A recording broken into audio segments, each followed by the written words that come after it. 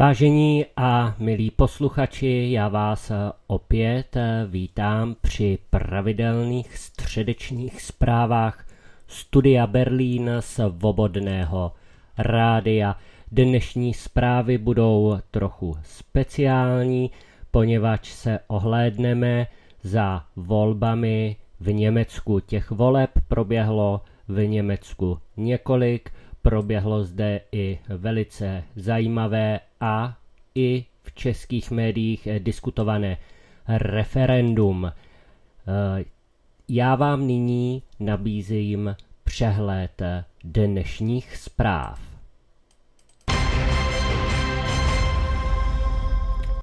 Volby v Německu vyhráli sociální demokraté. Eh, nabízíme vám celkový přehled. V Berlíně potom proběhly i dost chaotické volby do zastupitelstev. I zde vyhráli sociální demokraté. Německá AFD, alternativa pro Německo, převálcovala sice volby v Sasku a Durinsku, celkově ale ve spolkových volbách do německého Bundestagu ztratila. Ve Velké Británii uh, zhoršují situaci panické nákupy. Uh, dokonce je připravena i armáda. No a ohlédneme se ještě jednou i do Německa, protože tady uh, se berlínští občané rozhodli pro heslo vyvlastnit. Většina Berlíňanů hlasovala v referendum pro vyvlastnění bytů.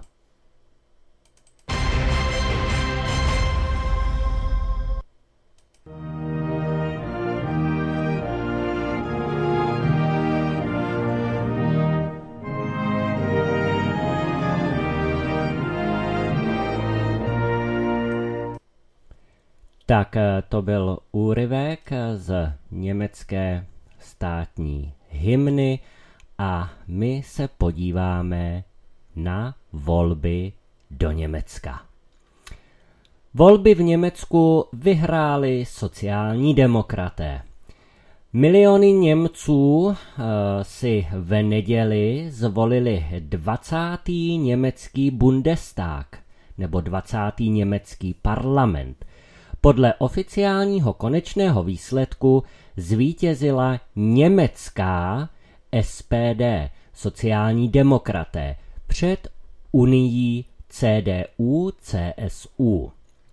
Spolkové volby do německého Bundestagu, tedy parlamentu, těsně vyhrála německá SPD. Podle konečného výsledku, který vedoucí spolkové volební komise oznámil v pondělí ráno, získali sociální demokraté 25,7% hlasů. Unie CDU-CSU dosáhla 24,1%. Die Grünen, zelení, se umístili na třetím místě se 14,8%. E, následují FDP, svobodní demokraté, z 11,5%, no a za nimi AFD z 10,3%. Die Linke, levice, získala 4,9% hlasů. Minula těsně 5% hranici. Protože ale získala tři volební obvody přímo, platí takzvaná klauzule základního mandátu. To znamená, že si Die Linke, tedy levice, přesune do spolkového sněmu Bundestagu s plným počtem 39 členů, na které má nárok podle výsledku druhého hlasování. Sídlo v novém Bundestagu bude mít také Združení voličů Süd Schleswigsche Wählerverband eh, se zkratkou SSV. Na, str- na tuto stranu národnostních menšin Dánů a Fríšanů se nevztahuje doložka o 5% a doložka o základním mandátu. Jejich druhé hlasy získané ve Šlešvicku Holštínsku tedy stačí na jedno jediné křeslo. Sestavení nové spolkové vlády bude každopádně hodně složité. Jedinou myslitelnou aliancí dvou stran by byla nová velká koalice, takzvaná Gros, uh, GROKO, uh, kterou si nepřeje ale uh, eh, SPD, tedy sociální demokraté, a ani Unie CDU-CSU. To je důvod, proč ve spolkové vládě pravděpodobně poprvé od 50. let 20. století bude existovat takzvaná trojramená aliance. E, matematicky je potom možné několik variant. Podle agentury Infratest DIMAP je letošní volební účast 76%, podle Election Research Group 77%. V roce 2017 to bylo 76,2%. V letošních všeobecných volbách mělo právo volit eh, v Německu přibližně 60,4 milionů Němců, z toho 31,2 milionů žen a 29,2 milionů mužů. Podle vedoucí spolkové volební komise je proto počet oprávněných voličů pravděpodobně nižší než ve spolkových volbách 2017. Té době tam bylo kolem 61,7 milionů lidí. No a uh, jenom pro připomenutí, jaký byl výsledek posledních voleb v roce 2017. Tam CDU drtivě eh, v čele s Angelou Merkelovou zvítila ze 26,8%, SPD eh, byla hluběji pod nima pod CDU tedy z 20,5%, zelení měli tehdy 8,9%, AFD 12,6%, FDP 10,7%, levice Die Linke 9,2% a CSU 6,2%.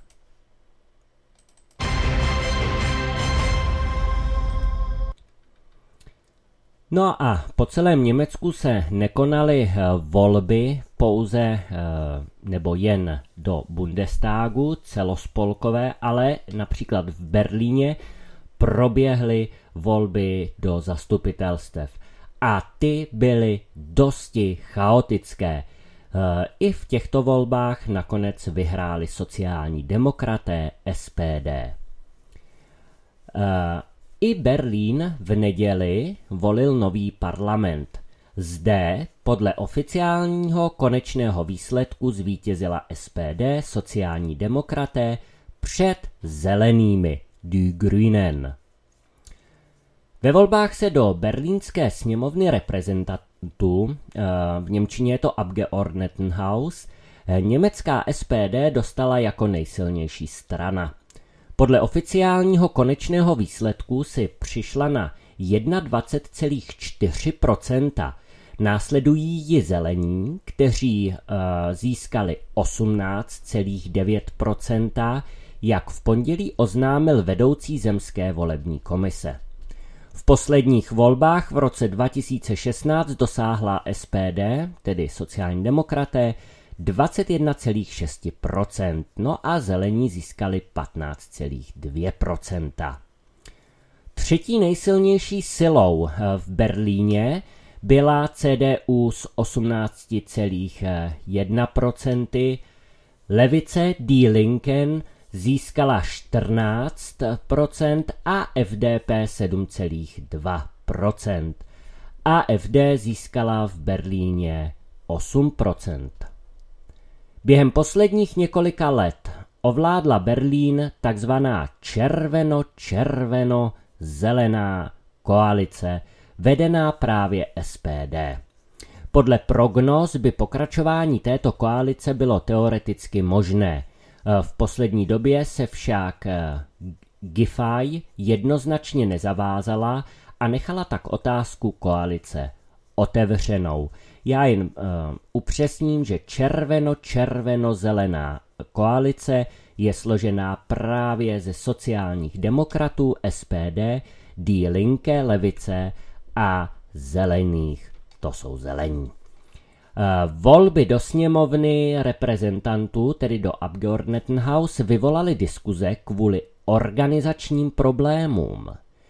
Chybějící a prohozené hlasovací lístky a problémy s následnými dodávkami hlasovacích listů znamenaly, že někteří voliči museli dlouho čekat a hlasovali až po 18. hodině, kdy už měly být volební místnosti uzavřeny. Hlasy se počítaly až do časných ranních hodin. V hlavním městě probíhaly volby do sněmovny reprezentantů souběžně s všeobecnými parlamentními volbami a konalo se také referendum o vyvlastnění společnosti Deutsche Wohnen a Spol. Poslední volby do berlínské sněmovny reprezentantů se konaly před pěti lety, 18. září 2016. 21,6% stačilo tehdy na to, aby se SPD stala nejsilnější silou. Je to dosud nejmenší procento hlasů pro nejsilnější stranu v německém zemském parlamentu. Kromě SPD prohrála zejména CDU. Obě strany musely přijmout své nejhorší volební výsledky v Berlíně vůbec. Zatímco levice, Die Linke, mírně získala. Zelení mírně ztráceli. AFD v Berlíně tehdy soutěžila poprvé a dosáhla 14,2%. Já jen připomenu, že nyní získala pouze 8%. FDP se podařilo znovu do sněmovny reprezentantů, tedy do Abgeordnetenhaus, eh, dostat.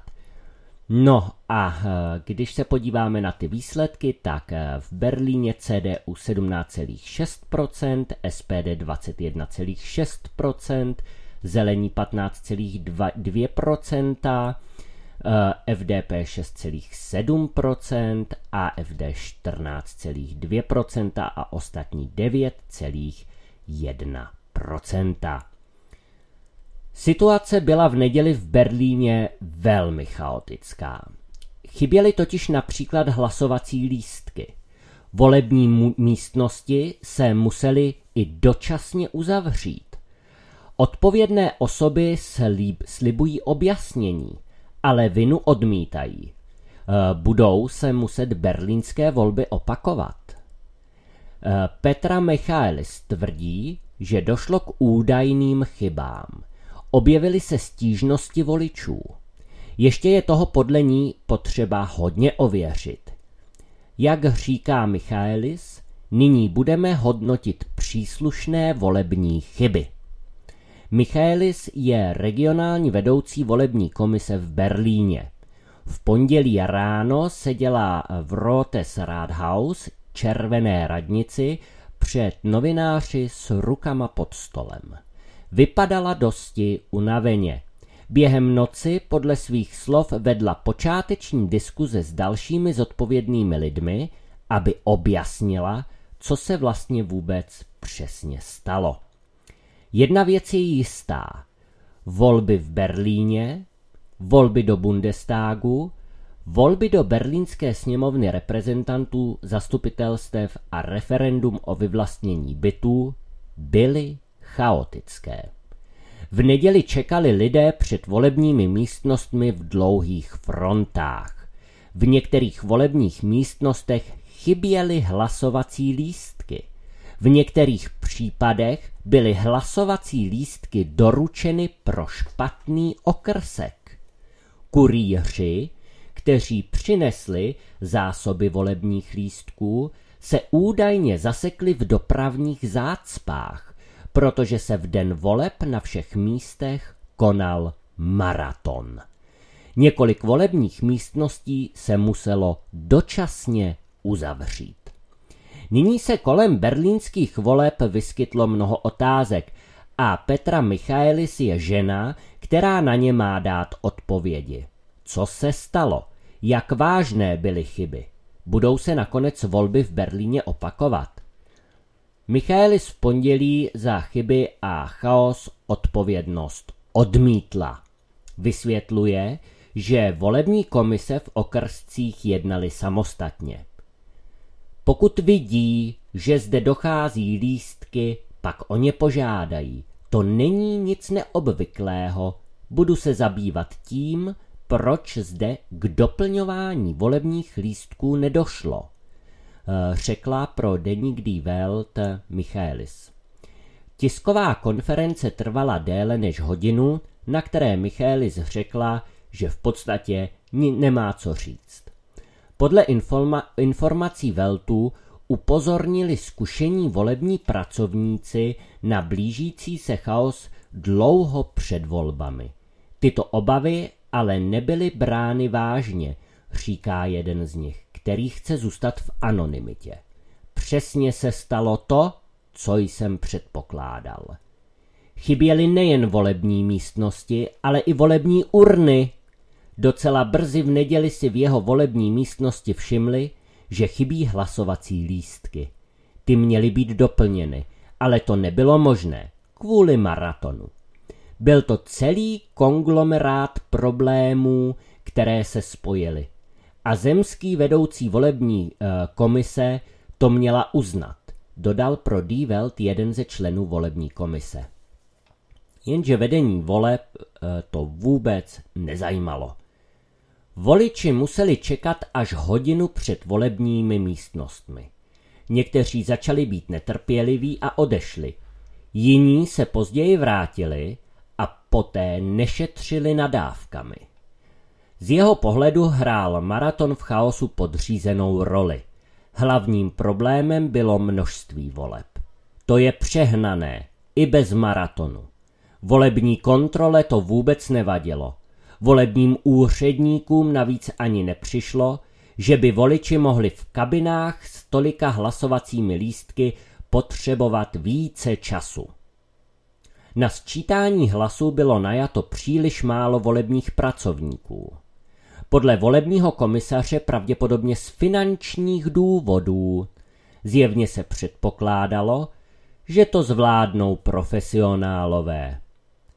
Nebyla, ta, nebyla to špatná vůle, ale takový je prostě Berlín. Prostě to nechají všechno být. Neviděli, že volební pracovníci jsou převážně amatéři. Skutečnost, eh, že to také může mít dopad na výsledek voleb, byla zjevně přijata. Normálně by celá volební komise musela hlasovat o nejasných hlasovacích lístcích, to znamená o těch, na kterých například nebyl křížek jasně označen. Je pravda, že taková rozhodnutí jsou velmi vzácná, ale samozřejmě nebyla věnována potřebná pozornost, a to plošně, protože volební pracovníci to prostě nemohou udělat po 12, 13 nebo 14 hodinách. Byli požádáni další volební pracovníci, ale ti nebyli k dispozici. Nakonec všichni jen řekli, zavři oči a pust se do toho. Podle jeho vlastního účtu byl volební pracovník ve službě 17 hodin a, za, a, dopl, a zaplaceno dostal za 8 hodin. Diletantismus ve volbách byl upřednostněn politikou v Berlíně, která klade větší důraz na velké symboly, jako je zpráva rovnoprávná, jako je rovnoprávnost vůči pohlaví nebo antikolonizace a přitom nevěnuje pozornost ani základům dobré zprávy. Není to tak, že by správná zpráva byla v zelených, levici, SPD zakázána. To zkrátka nehraje roli. Konec citátu. Mnozí se nyní ptají, zda by mohly být volby prohlášeny za neplatné. Na dotaz Veltu odborník na volební právo Bernd Grzečik z univerzity v Heidelbergu opatrně komentuje. Pokud nesrovnalosti skutečně vedly k tomu, že nebyla dodržena příslušná ustanovení volebního zákona, pro Bundestáka Berlínskou sněmovnu reprezentantů dochází k volebním chybám. V případě volby sněmovny reprezentantů rozhoduje o stížnostech Berlínský ústavní soud. Aby byly volby prohlášeny za neplatné, musel by být zájem na opravě větší než zájem na existenci zvoleného parlamentu. Tak by tomu bylo v případě, že jsou chyby relevantní pro mandát, to znamená, pokud měli dopad na rozdělení křesel v parlamentu.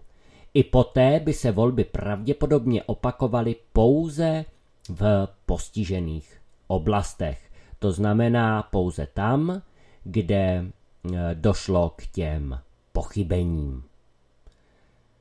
Vyplynou nyní z chaosu důsledky a co by to znamenalo pro odpovědné osoby.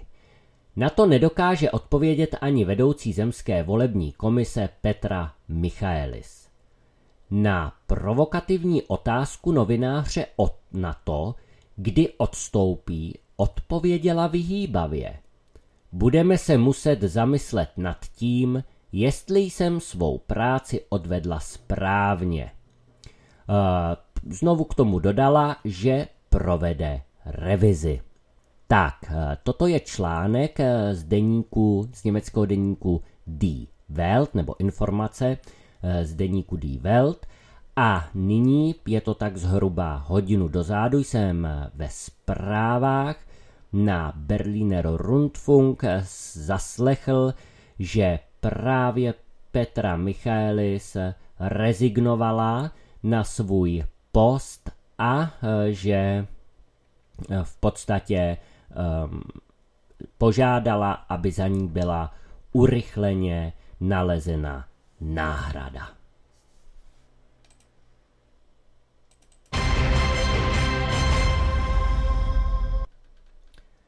Tak a nyní se zaměříme na jednu uh, politickou stranu a tou je alternativa pro Německo AFD.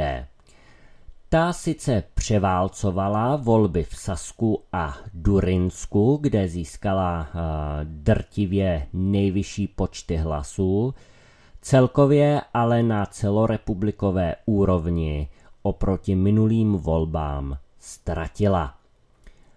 Nejvyšší kandidáti AFD Weidl a Chrupala se veřejně hádají s lídrem strany Mojtnem o vyhodnocení volebního výsledku. Skutečnost, že strana dominuje v Sasku a Durinsku, lze také vysvětlit odmítnutím koronavirové politiky a očkování. Mediální přestřelky a hádky mezi představiteli AFD měly bohužel za následek ztrátu voličů na celospolkové úrovni. Ono těch faktorů je sice více, ale ty mediální přestřelky eh, byly opravdu, eh, opravdu hodně výrazné. Eh, přestávka ještě nenastala. Na rozdíl od roku 2017, kdy tehdejší šéfka AFD Frauke Petry oznámila svůj odchod ze strany a den po spolkových volbách před spolkovou tiskovou konferencí odešla ze sálu, zůstali nyní všichni nejvyšší představitelé AFD v pondělí na svých místech. Mezi lídrem strany Jörgem Mojtnem na jedné straně a spolupředsedou Tinem Chrupalou a Elis Weidl jako dvěma nejlepšími kandidáty na straně druhé však nevládla zrovna dvakrát harmonie. Jak násilně se ve straně znovu rozpoutala zákopová válka, bylo zřejmé již z hodnocení výsledku voleb. Jsem hrdý na výsledek, řekl Chrupala, ale Mojten prohlásil, že jsme ztratili mnoho hlasů, což by nemělo být přehlíženo. Elis Weidl odpověděla, musím velmi jasně říci, že nedovolím, aby byl výsledek voleb kritizován. Vajdlová poté vysvětlila poklesy ve výsledku sporu o směřování AFD. Cituji. Voliči nesnáší více nic jiného, než když je strana zaneprázdněna sama sebou. To může mít následky v prosincové volbě předsednictva strany. Co ale Mojten řekl po Vajdlových návrzích? Pokud po volbách proběhne diskuze o personálu, pak nebude vedena o předsedovi, ale o nejvyšším personálu voleb. Budoucí role Vajdlové a Chrupaly se staly bodem sváru, když oba oznámili, že se ve středu postaví společně za předsednictví nového poslaneckého klubu. Předpokládám, že budeme vybráni jako tým, řekl Chrupala. Mojten, který není členem poslaneckého klubu, reagoval pohotově. V zásadě podle mého osobního názoru nepovažuji za dobrý postup soutěžit ve takzvaném dvojbalení. No a hádka pokračovala dále. Poškodila AFD svůj požadavek, aby Německo opustilo Evropskou unii. Chrupala si to nemyslel, ale Mojten ano. Síla AFD v částech východního Německa, kde Chrupala brilantně obhájil přímý mandát v Görlitz, Mojtena zřejmě nepotěšila. Neměli byste oslovovat jen konkrétní voliče v jednotlivých regionech. A dodal, tak takové volby se vyhrávají na západě.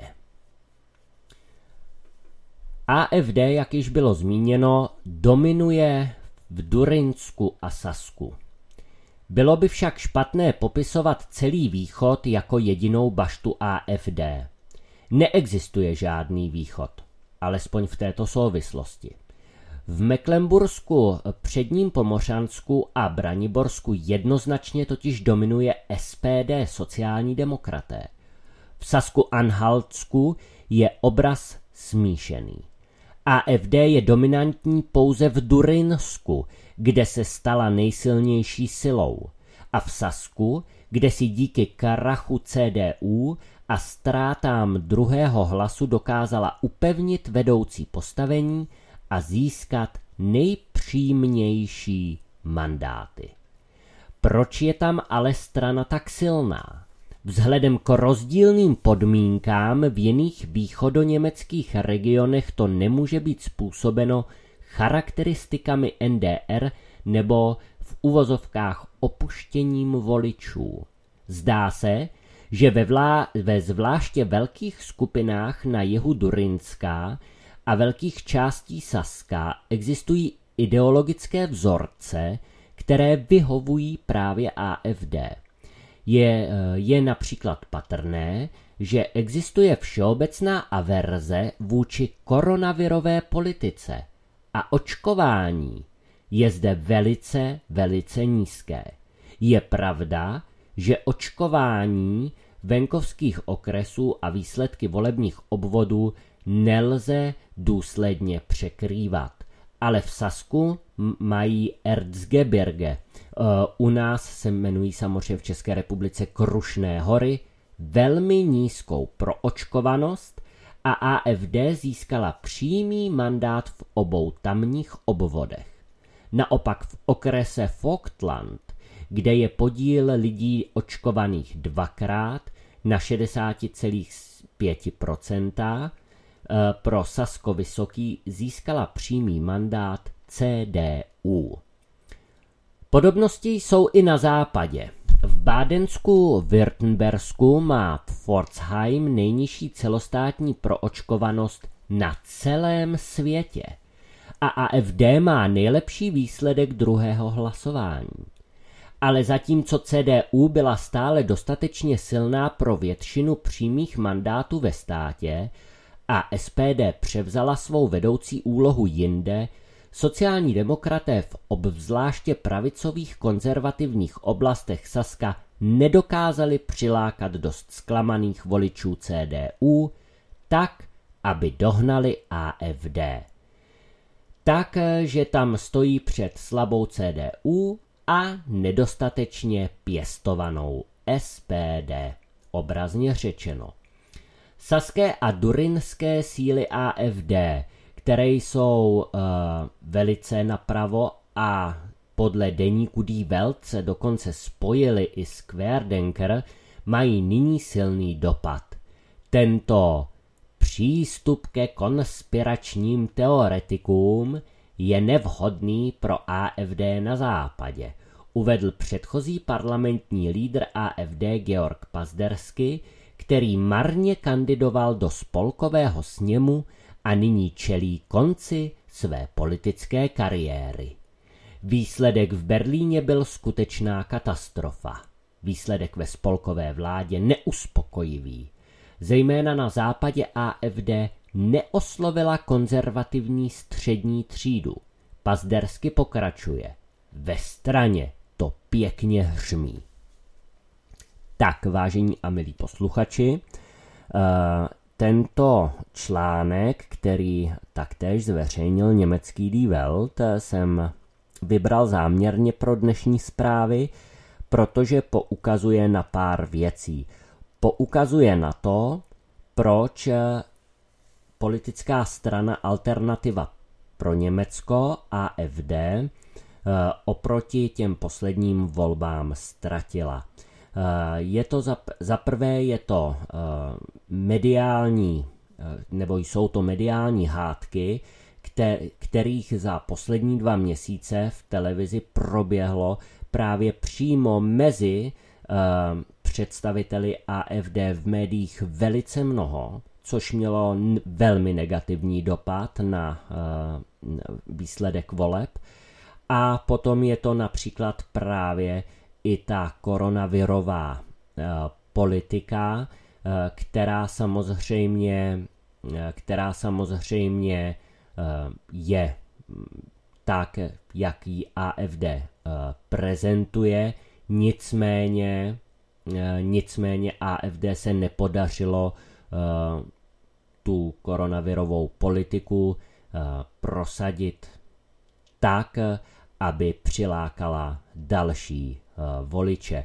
My se o volbách, a to jak v Německu, tak v České republice, budeme bavit v pátek, kdy mám opět společné vysílání se studiem Beta s Vladimírem Kapalem a samozřejmě tam eh, si budeme povídat eh, i trošku hlouběji o tom, eh, jak ty volby zde v Německu proběhly, jaký budou mít vliv na českou politiku, protože například Andrej Babiš se již na sociálních sítích zmínil v tom smyslu, že se těší na spolupráci s budoucí eh, vzniklou eh, novou vládou a eh, já jenom nastíním, že rozhodně se z 99,9% do té vlády dostanou zejména zelení. Více si ale nechám na pátek.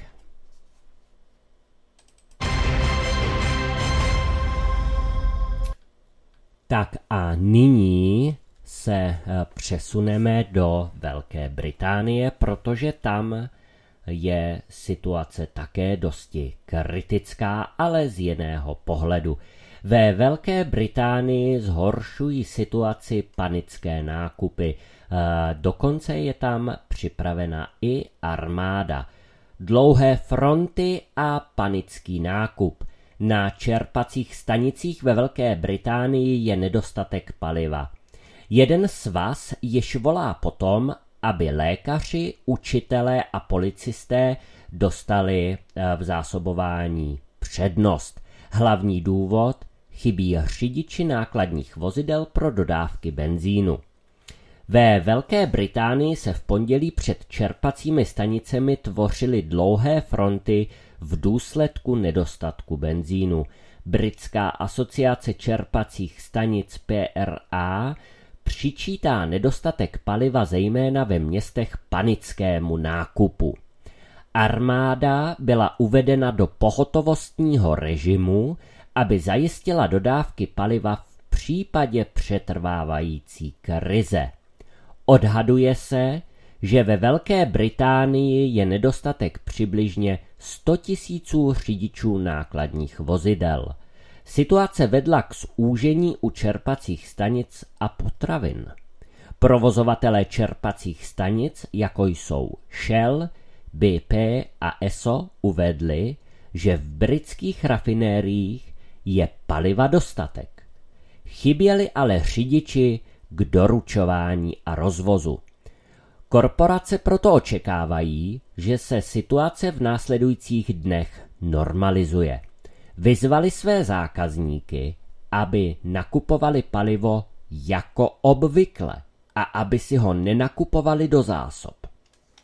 V pondělí ráno se ale před čerpacími stanicemi opět vytvořily dlouhé fronty. Někteří řidiči čekali v noci na pohonné hmoty. Lidé jsou zoufalí. Pokud teď nedostanu benzín, dnes nebudu moci pracovat, řekl například David Hart, jeden uh, z lidí, kteří čekali ve frontě na benzín. Musel jsem jít na pět různých čerpacích stanic, oznámila řidička Lisa Woodová, která čekala na čerpací stanici v Londýně více než hodinu. Moje nádrž je téměř prázdná. Britská asociace čerpacích stanic PRA přičítá nedostatek paliva zejména ve městech panickému nákupu. Jeden z našich členů dostal v poledne plnou nádrž benzínu a později odpoledne už byl obsah v autech řidičů. Eh, myslí se tím, že eh, jeden eh, z těch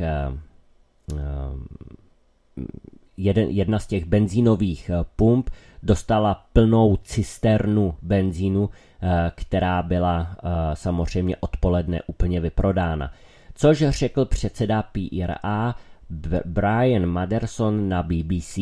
Kvůli silné poptávce v neděli zhruba polovina z celkem 8 tisíc čerpacích stanic byla prázdná. Pokud se situace v následujících dnech nezlepší, chce britská vláda použít armádu. Řidiči kamionů armádních cisteren by byli uvedeni do pohotovostního režimu a v případě potřeby nasazeni k další stabilizaci dodavatelského řetězce paliva – oznámilo v pondělí večer ministerstvo hospodářství. Jde o omezený počet řidičů a dočasné opatření. Poptávka po preferencích z klíčových průmyslových odvětví. Samozřejmě největší britský svaz veřejných služeb Unison vyzval k tomu, aby přednostně dostali benzín pracovníci v klíčových odvětvích, jako jsou lékaři, učitelé a policisté. Vláda by nyní mohla tento problém vyřešit vydáním nouzového povolení k určení čerpacích stanic pro výhradní použití klíčových zaměstnanců, řekla generální tajemnice Christina McAin. Kritici obvinují vládu z nečinnosti tváří v tvář historickému nedostatku řidičů nákladních vozidel způsobenému Brexitem a pozor, tady se neplive jen na uh, Brexit, ale koronavirovou pandemií. Takže už přiznali, že koronavirová pandemie tom hraje velkou roli. Aby vláda vyřešila krizi, rozhodla se o víkendu uvolnit vízové povinnosti pro zahraniční řidiče kamionů a kvalifikované pracovníky z jiných průmyslových odvětví.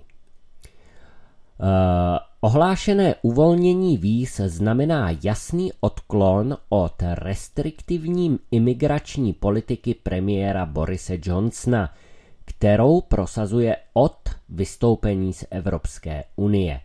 Johnson opakovaně prohlásil, že chce ukončit britskou závislost na zahraničních pracovnících. Kandidát na německého kancléře SPD Olaf Scholz viní z problémů na britských čerpacích stanicích Brexit. Volný pohyb pracovníků je zásadou EU, řekl v pondělí v Berlíně. Tvrdě jsme pracovali na přesvědčení Britů, aby neopouštěli Unii, zdůraznil Scholz. Scholz také připisoval nedostatek řidičů nákladních vozidel ve Velké Británii údajně příliš nízkým mzdám.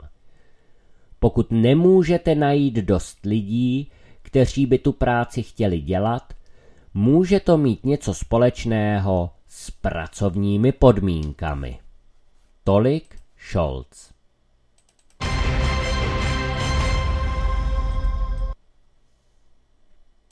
Tak a my se dostáváme k další zprávě. A prosím, tato zpráva je velice důležitá a velice závažná, protože se týká uh, i České republiky, týká se, uh, týká se v podstatě dodávek plynu. Šok z ceny plynu odhaluje německé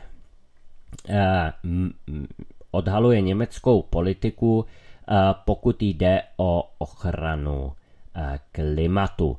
Vysoké ceny plynu a prázdná skladovací zařízení, tarify za elektřinu jsou v Německu na rekordních e, výškách. Energetické trhy jsou pod tlakem jako ještě nikdy předtím a je třeba se obávat, že německá klimatická politika vše ještě zhorší. Nyní byl zasažen první německý dodavatel energie. Po několika bankrotech ve Velké Británii je na kolenou také plynový dodavatel Deutsche Energiepool v této zemi. Smlouvy zákazníkům jsou od začátku víkendu vypovídány. Společnost se specializovala na nákup zemního plynu ve velmi krátkém čase a proto levně. Strategie levného dodavatele ale selhala. Důvodem je situace na globálním trhu s plynem. Ceny za krátkodobé zakázky se zvýšily zhruba pětinásobně, omlouvá se společnost. Sotva někdo na energetickém trhu očekával tak rychlý a bezprecedentní vývoj. To je pravděpodobně pravda. Krátce před zimou jsou spotřebitelé a politici čím dál nej- nervóznější ze zařízení na skladování plynu, která jsou v tomto ročním období prázdná jako nikdy předtím. Směná cena za plyn se vyšplhala na 450% na maximum. Pokud máte tepelné čerpadlo a topíte elektřinou, jen těžko jej pořídíte levněji. Velkoobchodní ceny elektřiny se během 12 měsíců strojnásobily. Náklady na topný olej plus 53%, ceny pohoných hmot plus 26% a zastavit se to ještě nehodlá. Skoro se vám může zatočit hlava, říká Carsten Roll, vedoucí německé sekce Světové energetické rady a vedoucí energetického oddělení průmyslové asociace BDI. Na mezinárodních energetických trzích se vytvořila jakási dokonalá bouře, efekty, které budou posíleny legislativou na ochranu klimatu v Německu a Evropě. Je to opravdu děsivé. Protože všechno se vším souvisí. Rychlé ekonomické oživení na konci pandemie vyvolalo extrémní poptávku po energii na Dálném východě. Od té doby tankery dodávají kapalný plyn z USA, Kataru a Ruska téměř výhradně do Ázie. Protože produkce plynu v Nizozemsku končí a Rusko nemůže nebo nechce dodávat další plyn do západní Evropy paliva zde začíná být nedostatek. V současné době zažíváme, jak se mnoho politických příběhů hroutí, říká Andreas Kuhlmann, generální ředitel polostátní německé energetické agentury.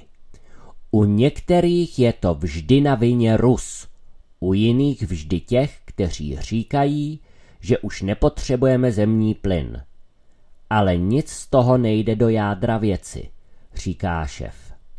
Neexistuje ani americký alianční plyn pro svobodu, ale existuje globální trh.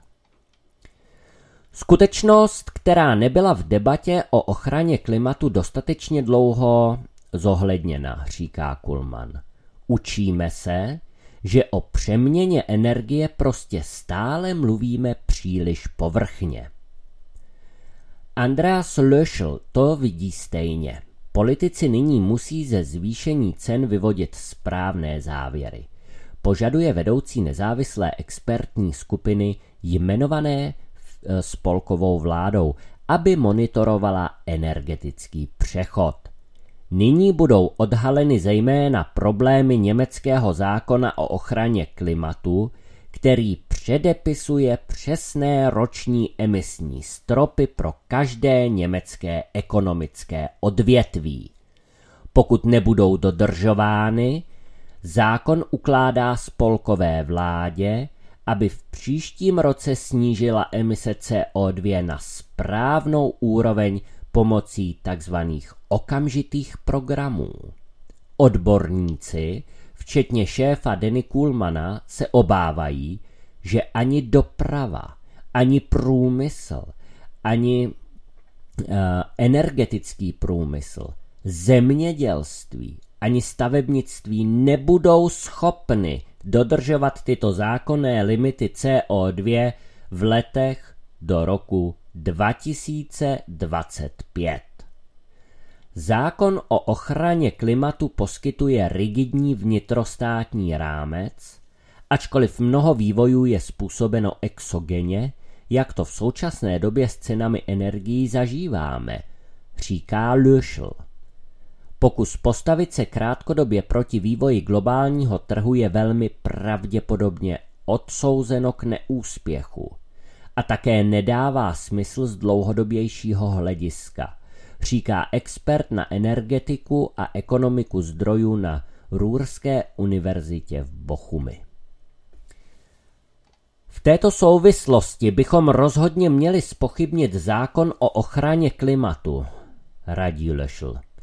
Místo ročních rozpočtů na CO2 by to mělo být o správných trajektoriích s odpovídajícími koridory. Místo toho aby politici jednali s ročními nouzovými programy, měli by na začátku legislativního období předložit komplexnější klimatický plán a poté jej dodržovat. Spoluzodpovědnost ovšem nese na této eh, velice nebezpečné a velice eh, špatné situaci i Evropská komise – Brusel je pravděpodobně část, ne prav, uh, Die Welt píše pravděpodobně, ale Brusel je částečně zodpovědný za příčiny plynové krize.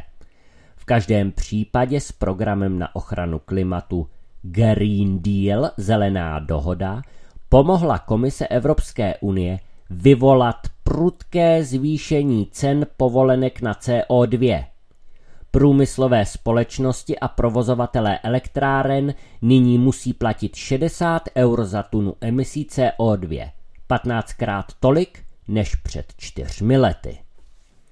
Normálně by takový nákladový blok vytlačil jakoukoliv elektrárnu spalující hnědé uhlí z trhu. Poměrně čisté plynové elektrárny, které potřebují méně drahých povolenek na CO2, by uh, vstoupili do hry. Žádaný automatismus ale v tuto chvíli již nefunguje. Hnědouhelné elektrárny v Německu běží na plné zatížení již měsíce. Provozovatelé jednoduše oceňují vysoké náklady na emise CO2 a stále mohou nabízet svoji elektřinu levněji než v současnosti plynové elektrárny. Alternativy ty téměř neexistují. Obnovitelné energie jsou málo nápomocné, expanze se zastavuje a dlouhé přestávky, eh, kdy byl nedostatek větru v posledních měsících, navíc snížily produkci zelené elektřiny. Trh spíše očekává mezeru v dodávkách, protože v příštích měsících bude uzavřeno více uhelných elektráren a nyní pozor, stejně jako zbývajících šest německých jaderných elektráren, které dosud vyráběly více elektřiny než všechny německé solární systémy dohromady. Vážení uh, posluchači, já tento odstavec znovu zopakuji. Trh spíše očekává mezeru v dodávkách, protože v příštích měsících bude uzavřeno více uhelných elektráren, stejně jako zbývajících šest německých jaderných elektráren, které dosud vyráběly více elektřiny než všechny německé solární systémy dohromady. K tomuto nezbývá říci nic jiného, než že Německo páchá hospodářskou a energetickou sebevraždu. A potom bude samozřejmě Evropská komise uh, vytvářet nátlak na Českou republiku, aby jsme my eh, z našich jaderných elektráren do Německa eh, tu, řekněme, zvýšili ten, posílali více té, té elektřiny nebo zvýšili ten objem. Ale toto, za toto nese zodpovědnost zejména i Evropská komise. No a je to taky špatné pro ceny energií. Přebytečná poptávka bude mít tendenci se zvyšovat, což říká, eh, eh, což říká eh, tento expert. Úlevu může poskytnout pouze rychlá masivní výstavba nových plynových elektráren. Požadavky, které by byly nutné, už některé odborníky ale vyděsily. Cenové portály jako Verivox nebo Czech 24 varují spotřebitele před cenovým šokem. Růst cen fosilních paliv zvyšuje inflaci a zvyšuje životní náklady domácností, řekl Torsten Stork, energetický expert společnosti Verivox. S ohledem na vysoké mezinárodní ceny surovin a rostoucí cenu CO2 bude tento trend ve střednědobém horizontu pokračovat. Podle průzkumu pro Verivox tři čtvrtiny Němců požadují přísnější opatření proti zvyšování cen. K tomu by se každý třetí dokonce eh, obdržel jaderné energie. To je o 11 procentních bodů více než před třemi lety. Eh, takže najednou, když jde o peníze, tak Němcům přestává jádro vadit. Někteří členové Bundestagu přicházejí s nápady. Cituji, explozivní ceny za plyn a elektřinu jsou výsledkem energetického trhu, který se úplně vymkl kontrole. Hrozí zima energetické chudoby se stovkami tisíc postižených občanů, říká Lorenz Gösta Beutin, mluvčí energetické politiky Die Linken.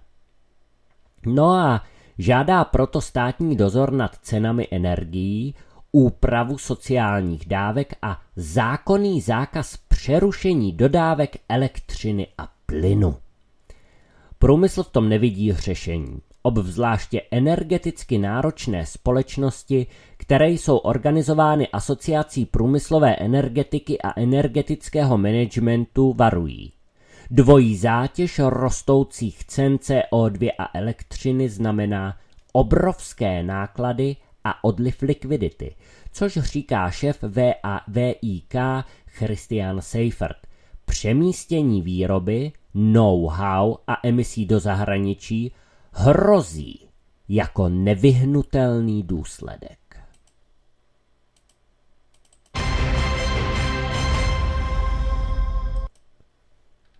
Tak a máme zde poslední téma, o kterém též budeme hovořit eh, v pátečním vysílání. Většina Berlíňanů totižto v referendu o vyvlastňování bytu eh, hlasovala pro.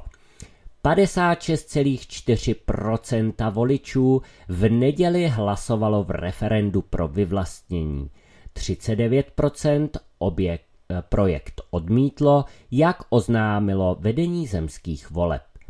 Initiativa uh, Deutsche Wohnen und äh, CO Enteignen, o které se hlasovalo souběžně s volbou do sněmovny reprezentantů a do spolkového sněmu, je o tom, zda by měly být socializovány realitní společnosti s více než třemi tisíci byty a výdělečnou činností, to jest vyvlastně, vyvlastněny oproti náhradě.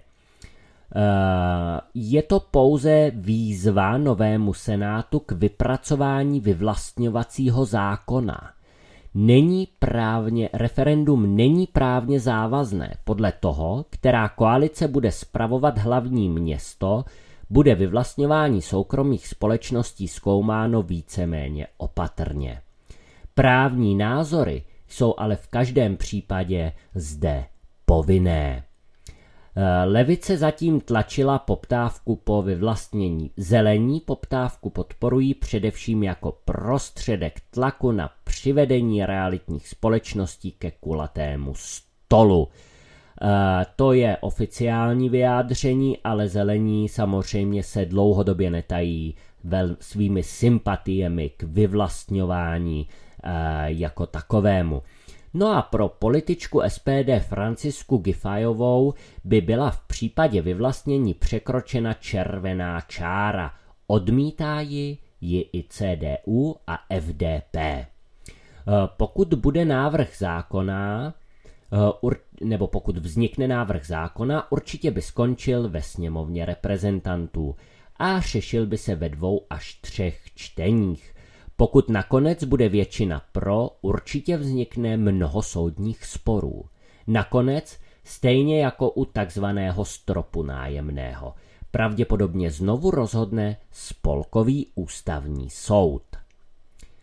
Tak a e, my si o tomto samozřejmě povíme více e, v pátek, protože, e, protože to téma vyvlastňování a té bytové situace v Berlíně je složitější. Česká média a v podstatě ani nikde eh, v prostoru na sociálních médiích eh, se člověk nedozví důležité detaily, takže eh, v pátek eh, já objasním celou tu situaci a myslím, že to bude velice zajímavé. Já vám pro dnešek, vážení a milí posluchači, přeji, eh, děkuji za pozornost a přeji vám příjemný poslech při poslechu pořadu dalších studií.